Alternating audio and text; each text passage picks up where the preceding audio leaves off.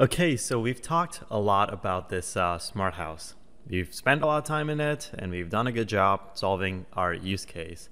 It's time we take a step out. So we know how to solve this particular use case now, but how do we apply the same knowledge that we learned in this course to solving other use cases? So let's take an example of a few. In the beginning of the course, we saw this uh, smart wind farm. It had the ability to predict the energy production of the past, present, and future. So what does the use case for this look like? Let's take a look. Create a digital twin of a wind farm, visualize it within an iTwin app, add data connections to an IoT system. In this case, we used uh, ADT, which is Azure Digital Twins, a historic TSI endpoint, TSI's time series insights, and a machine learning algorithm to display the past, present, and future energy production of the wind farm. Let's take a look at another one.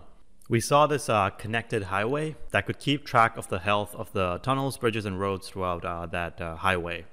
So the use case for this is uh, create a digital twin of a roadway, visualize it within an iTwin app, and then we add a data connection to an IoT system, ADT again, and display metrics of the roadway segments, the tunnels, roads, and bridges, and present crisis alerts to ensure the safety of travelers.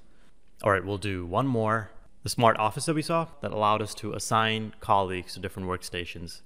The use case for that is uh, create a digital twin of an office building, visualize it within an iTwin app, add a data connection to an HR database, and add interface to assign workstations to colleagues and reflect the changes in the HR database. Now, to understand how we can apply what we learned in this course to these use cases, let's uh, throw them all in the same place and then break them down like we did for our smart house. Now, you might have already noticed that there's a lot of similarities here. So let's uh, talk about those. So the first step when solving any of these use cases is to push our design files into the iModel hub and create a digital twin of the model. So we create a digital twin of the house model, the wind farm, office building, and the roadway. And the way we can do that is by synchronization, which is what we discussed in uh, chapter one.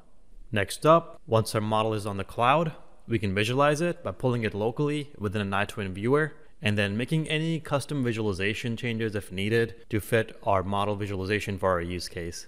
And that's what we discussed in chapters three and four. And at this point, we are in a really good place to start building value for our digital twin and grow it by adding data connections. In the case of our smart house, we added a smart device database. In the case of the wind farm, there's ADT, TSI, and the machine learning algorithm.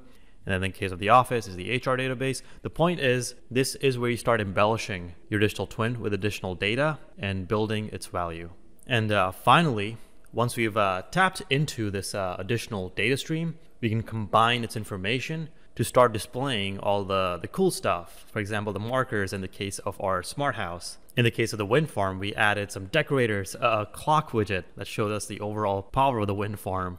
In the case of the office, we added an entire interface to drag and drop people and put them on workstations, and then also write back into the HR database to update that information. There's tons of possibilities here. We barely scratched the surface in chapter uh, 6 and 7. But I'll post a link to our documentation and some of the samples that we have so you have an opportunity to apply your creativity and design your own unique way to fulfill your use case.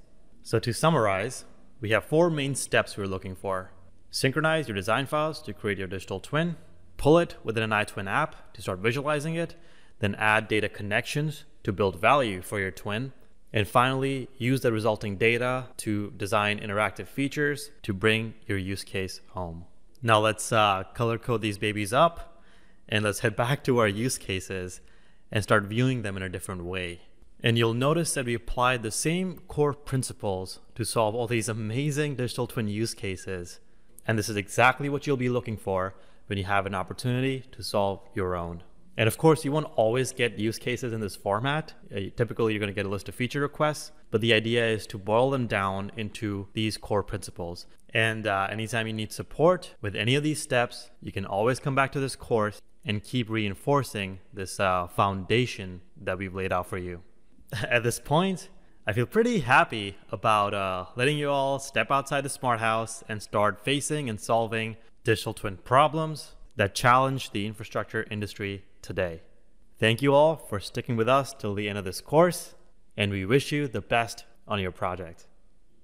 Oh, and uh, all the best on the exam at the end of this, which you have to pass to get the certification. But, well, you got to do what you got to do.